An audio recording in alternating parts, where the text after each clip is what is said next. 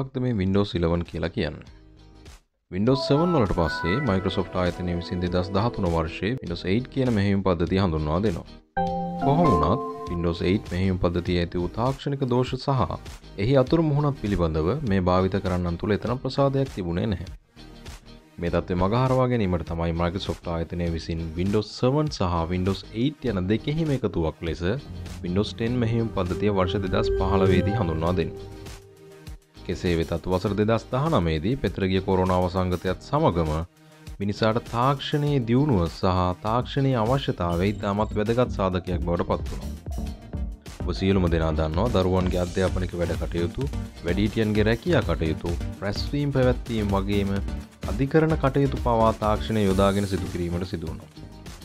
මෙම හේතු මත මයිකෝසොෆ්ට් ආයතනයට අවශ්‍ය වෙනවා මිනිසාගේ අවශ්‍යතාවයන් හට මූලිකත්වය ලබා දෙමින් උන්ගේ පලදායිතාවේ සහ නිර්මාණශීලිත්වය වර්ධනය කර හැකි නව සංස්කරණයක් ඉදිරිපත් කිරීමට.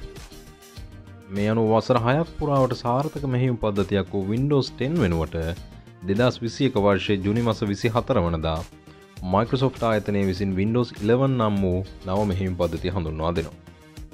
Windows 11 වල ඇති විශේෂාංග මොනවද? ප්‍රධානතම විශේෂාංගයක් තමයි මැක් පරගණකයක් හා සමාන අතුරු මුහුණුත්ත.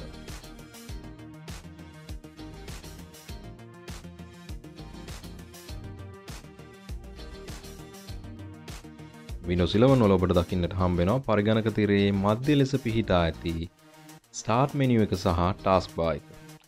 නමුතබට මතක් ඇති වින්ඩෝස් 10 නොල මේක තිබුණේ පරිගණක තිරේ මෙන මේ විදියට. ඒත් එක්කම ඔබට මේ ස්ටාර්ට් මෙනුව එක වින්ඩෝස් 10 වල තිබුණාට වඩා නව්‍ය පෙනුමකින් දකින්නට හම්බෙනවා. තවදුරටත් ඔබට වින්ඩෝ එකක් ඕපන් කළහම එම වින්ඩෝ එකේ රවම් හැඩතිකෝන් තමයි දක්නට හම්බෙන්. මේකත් මේ වින්ඩෝස් 11 වලට හඳුන්වා දුන් නවතම දෙයක් දීට අපිට දකින්න පුළුව. තවත් අපට වැදගත්වන විශේෂාංගයක් වෙන්නේ පරිගණකයට Android ඇප්ස් භාගත කරගත හැකිවීම. ඔබට Amazon App Store භාවිතා කරමින් Microsoft Store හරහා Android ඇප්ස් භාගත කිරීමේ පහසුකම අත්විඳ ගත හැකි. මෙත් සමගම Windows 11 වල නැවතවතාවක් විජෙට්ස් හඳුන්වා දීලා තියෙනවා. ඉතින් මේ විජෙට්ස් මගින් ජංගම දුරකථනයක් ලෙසින්ම ඔබ වෙත කාලගුණ තොරතුරු කාලීන පුවත් වැනි දේවල් ගෙනීමට දැඩි උත්සාහයක් දරා තිබෙනවා කියලා අපිට දකින්න පුළුවන්. ඔබට තවත් හම්බෙලා තියෙන විශේෂාංගයක් තමයි New Snap Layout option එක කියලා කියන්නේ. ඒ අනුව මේ නිවස් නැප් ලේඅවට් ඔප්ෂන් එක මගින් එකවර Windows කීපයක් ඕපන් කරගෙන වැඩකිරීමේ පහසුකම ඔබට ලබාදීලා තියෙනවා.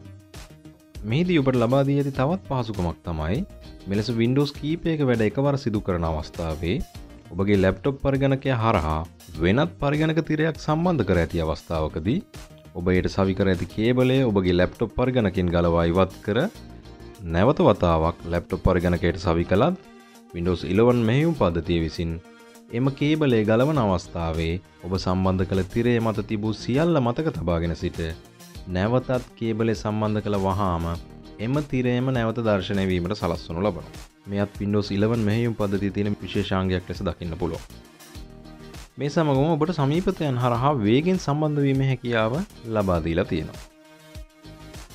Windows 11 මෙහිම් පදතිය Microsoft Team අනුසාරය නිර්මාණය කර ඇති චැට් සේවාවක් දැකගත හැකි එම සේවාව හරහා කෙටි පනිවුඩ වොයිස් හෝ වීඩියෝ එමතුම් ලබා ගැනීමටත් හැකියාව තියෙනවා. වැදගත්ම කරුණ වන්නේ ඔබගේ සමීපතයන් Windows, iOS හෝ Android යන කුමන මාදලිය භාවිතා කළත් Windows 11 තුළ එම ඕනෑම සේවාවක් හා නම්මශීලියව ගණදුනු කිරීමට ඇති හැකියාවයි. තවදුරටත් පරිගණක ක්‍රීඩා ලෝලින්ට වැදගත් පනිවිඩයක් තියෙන එක තමයි පරිගණක ක්‍රීඩා සඳහත් Windows 11 මෙහිම් පද්ධතිය මගින් විශාල මෙහයක් සිදු කරලා තියෙනවා. විශේෂෙන් ගතොත් Xbox ෆීචස් මගින් පරිගණකේ සිස්ටම් හාඩුවය උපරිම ලෙස පාවිතයට ගනිමින් වගේම ඩිරෙක්් ස්ටෝරේජ් API භාවිතය මගින් පරිගණක ක්‍රීඩා GPU මෙමරිය වෙත රිජුවම ස්ථාපනය කරමින් පරිගණක ක්‍රීඩාවල ලෝඩිං ටයිම් එක අවම කිරීම වැනි දේවල් සිදු කරලා තියෙනවා. ඒ සමගම ග්‍රෆික්ස් වල සීමවල් පුළුල් කිරීමට උත්සාහයක් දරා තියෙන බවත් අපිට දැකගන්න පුළුවන්.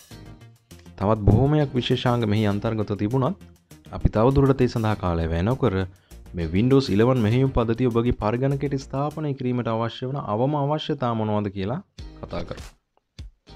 ඔබට මේ තිරේ දෙක ගන්නට හැකි වෙන්නේ එම අවම අවශ්‍යතා මොනවාද කියලා.